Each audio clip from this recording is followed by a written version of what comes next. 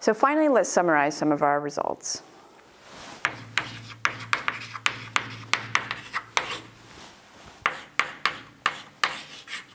So we started off with the complex quaternions acting on themselves. And we, we found that this gave all of the Lorentz representations of the standard model.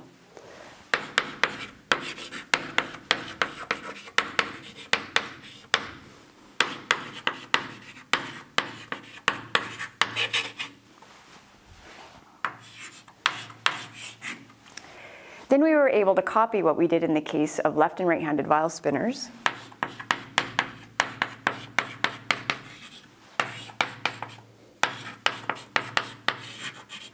And we were able to generalize that to build SU and SD using just the complex octonions acting on themselves.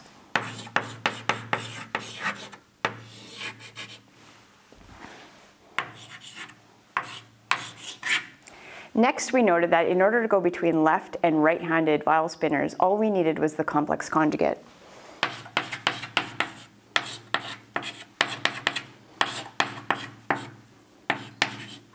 And similarly, in the case of SU and SD, all we need again is the complex conjugate.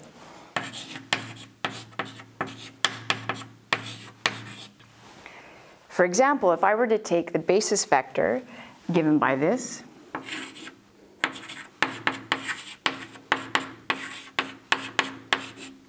this corresponds to the positron. And if I were to take the complex conjugate of this, it would give me this basis vector, which corresponds to the basis vector of the uh, electron. So in other words, in this formalism, in order to go to be between particle and antiparticle, all we need is the complex conjugate.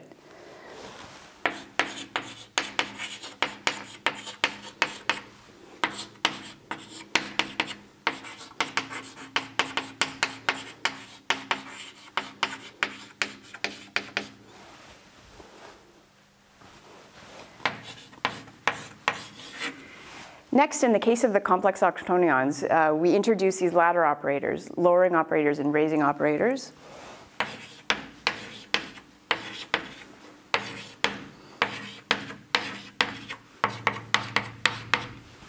And these operators had a U3 symmetry, which rotated lowering operators into lowering operators and raising operators into raising operators.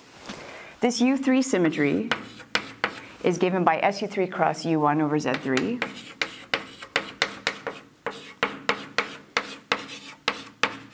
which we later identified as SU3 color and electromagnetic U1. So in other words, we have a direct route to the two unbroken gauge symmetries of the standard model. Next, in the case of SU3, we found that the transformations on these ladder operators induce transformations on SU and SD, our two minimal left ideals. And we found that SU under SU3 broke down as a singlet, an anti-triplet, a triplet, and a singlet. And SD broke down like this.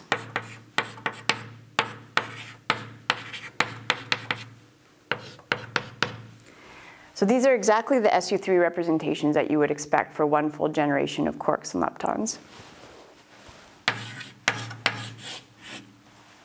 And finally, we were able to introduce a new electric charge operator, Q. So this Q gave us uh, the correct charges we would expect for one generation.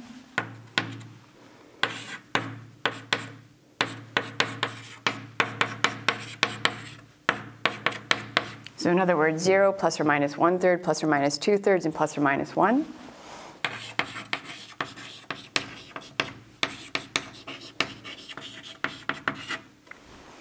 But not only did it give us the correct charges, those charges fit in perfectly with the SU3 representations.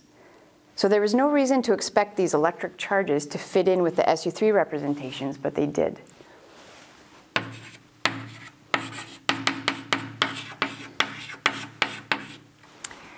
And finally, we were able to uh, define our electric charge operator Q as the number operator divided by 3.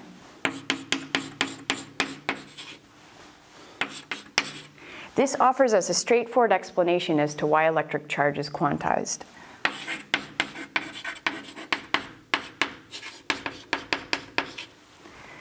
That is, electric charge is quantized because number operators can only take on integer values.